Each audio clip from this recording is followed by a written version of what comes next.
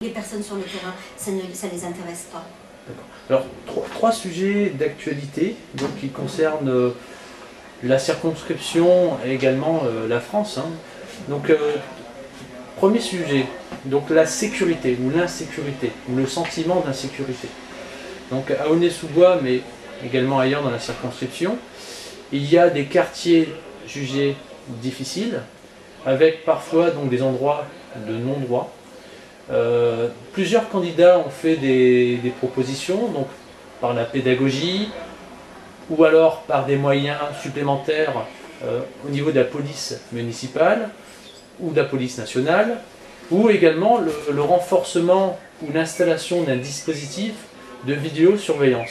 Vous, que pensez-vous par rapport à ces propositions? Qu'est-ce que, quelle serait selon vous la solution idéale? Pour diminuer cette insécurité ou ce sentiment d'insécurité qui règne dans certains quartiers Moi, je pense qu'il faut conjuguer tous les moyens. Tous les moyens sont à conjuguer. Bien sûr qu'il faut faire de la prévention, mais je pense que les renforts de police sont indispensables. Les caméras de surveillance pour certains endroits stratégiques peuvent, être, peuvent se montrer très efficaces. Et je pense que les trois moyens sont à, sont à, à conjuguer, de sorte à ce que la sécurité ne, ne soit plus, euh, ne, soit plus vécue euh, par, les habitants. Alors, deuxième sujet euh, d'actualité qui touche la région Île-de-France, c'est euh, ça a été le débat sur la viande halal. Alors, comme vous le savez certainement, donc il y a quatre grands abattoirs en Île-de-France. Donc, trois sont des abattoirs qui font de l'abattage rituel. Donc, le Front National et également l'UMP ont vivement décrié hein, euh, euh, cet abattage rituel en prenant donc une certaine traçabilité euh, de la viande qui circule notamment dans les étalages, sur les supermarchés, etc.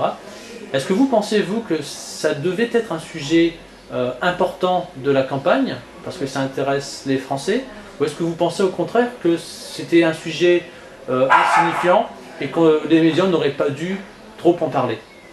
Personnellement, tout ce qui touche à l'alimentation, je pense que les Français doivent être informés, que ce soit concernant les abattages rituels ou concernant d'autres traitements euh, euh, concernant l'alimentation.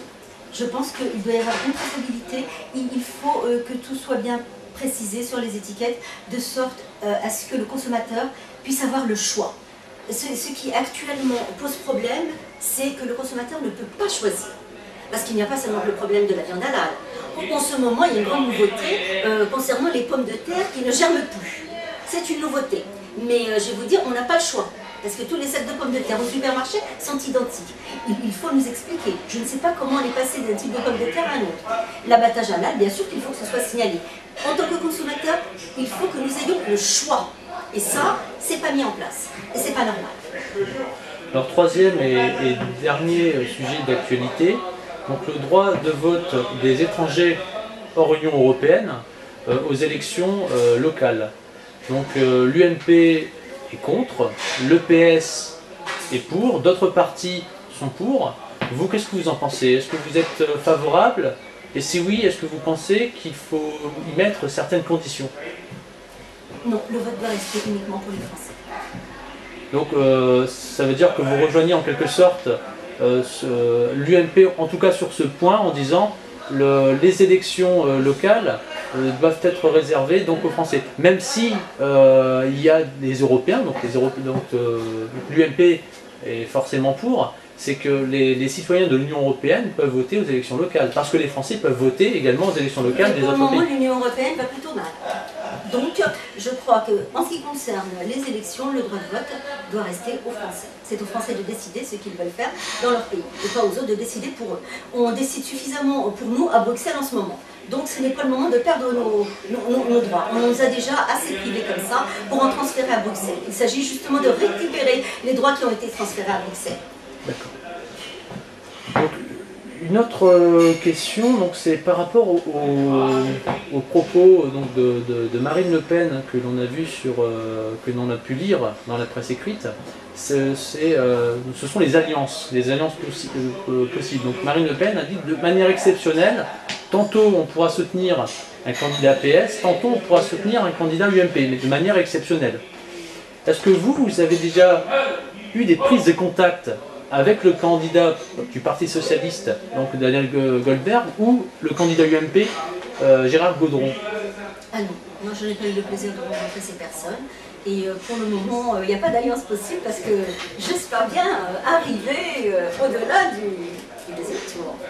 D'accord. Donc en ce moment, il n'y a pas de, stratégie, c'est en fonction des résultats du premier tour que la stratégie va, se découler. Tout à fait. D'accord.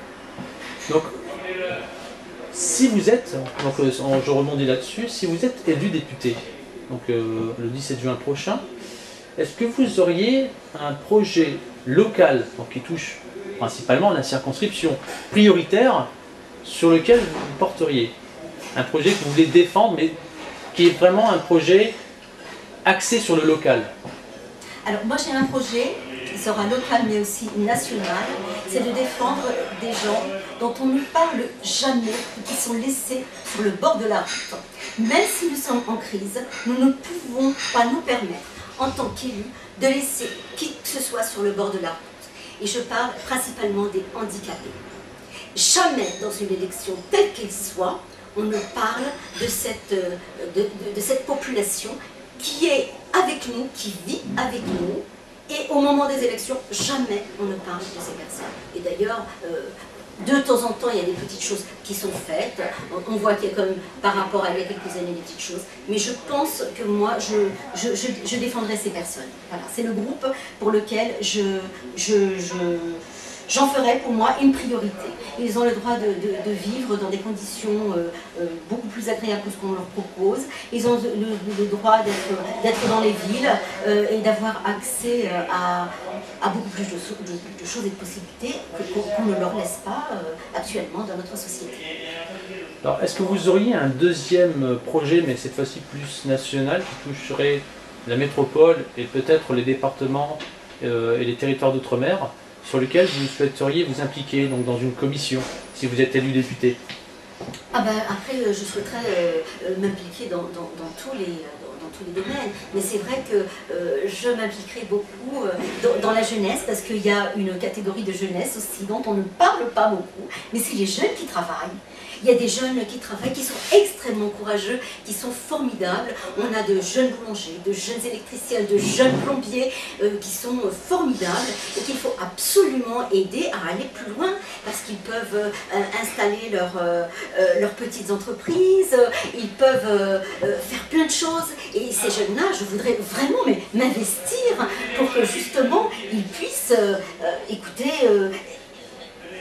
s'épanouir pleinement et dans leur travail, dans leurs connaissances, dans leurs compétences. Et il y en a déjà qui ont fait euh, leurs preuves dans la restauration. Notre, restauration, euh, la restauration française, se défend de façon internationale. Et ça, je, souhaiterais euh, vraiment soutenir notre jeunesse, la jeunesse courageuse, la jeunesse qui travaille, la jeunesse qui est sur le terrain, cette jeunesse-là, euh, ben, on n'en parle pas beaucoup, et elle est là, et elle est là, et je l'ai rencontrée durant ma campagne. Et c'est... Euh, euh, écoutez, franchement, quand je rencontre des jeunes comme, ceux dont je vous parle, ça, ça m'encourage à, venir et à continuer ce, que j'ai fait alors que je n'étais pas du tout destinée à une carrière politique. Et j'ai envie de gagner pour, pour ces gens pour, ces handicapés dont on ne parle pas et à qui on ne réserve pas le meilleur, alors qu'ils ont le droit euh, au meilleur, puisqu'ils sont là avec nous.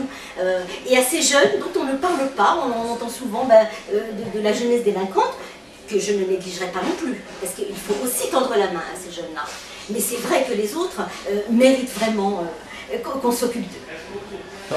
Est-ce que vous auriez en guise de, mot de la fin, donc pour clôturer cette, euh, interview, un message particulier à faire passer aux lecteurs du site mondonné.com.